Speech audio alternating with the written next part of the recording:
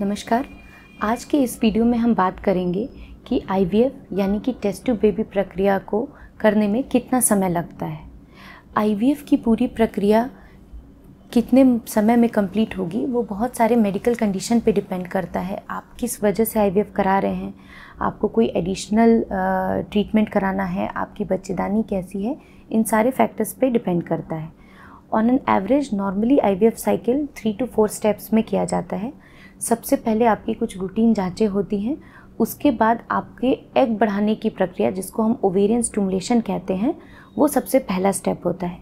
इसमें पीरियड के सेकेंड या थर्ड डे से आपको कुछ दवाइयाँ दी जाती हैं हार्मोनल इंजेक्शंस दिए जाते हैं, जिससे आपका एग ग्रो करता है और उसकी मॉनिटरिंग की जाती है। ऑन एन एवरेज इस पूरे प्रक्रिया में 10 दिन का समय लगता है। किसी का एक से दो दिन पहले भी एग प्रिपेयर हो जाता है किसी का एक से दो दिन ज़्यादा जा, समय लगता है।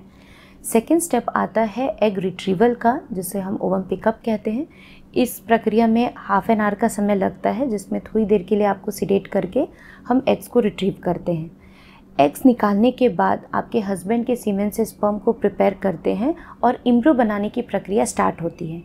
आप उस दिन घर जा सकते हैं। इसके बाद आपको फोर टू फाइव डेज़ के बाद हम इम्ब्रो स्टेटस के लिए बुलाते हैं, जिसमें आपका इम्ब्रो स्टेटस डिस्कस करते हैं और उस बेसिस पे, आपकी मेडिकल कंडीशन के बेसिस पे हम डिसाइड करते हैं कि हमें इम्ब्रो उसी साइकिल में डालना है मतलब फ्रेश इम्ब्रो ट्रांसफ़र करना है, या आपको रेस्ट दे के हम हमें इम्ब्रो को फ्रीज़ करना है। अगर आपका इम्ब्रो, फ्रेश इम्ब्रो ट्रांसफ़र हो रहा है, यानी उसी समय हमने डिसाइड किया कि हमें इम्ब्रो ट्रांसफ़र करना है तो इम्ब्रो ट्रांसफ़र करने के 15 डेज़ के बाद हम प्रेगनेंसी कंफर्म करने के लिए बुलाते हैं। यानी आपकी आईवीएफ साइकिल पूरे वन मंथ में कंप्लीट हो जाती है।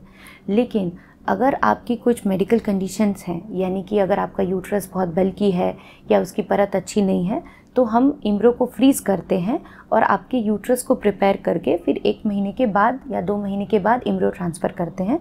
उस कंडीशन में आपका आईवीएफ का प्रोसेस दो से तीन महीने में कंप्लीट हो जाता है। धन्यवाद।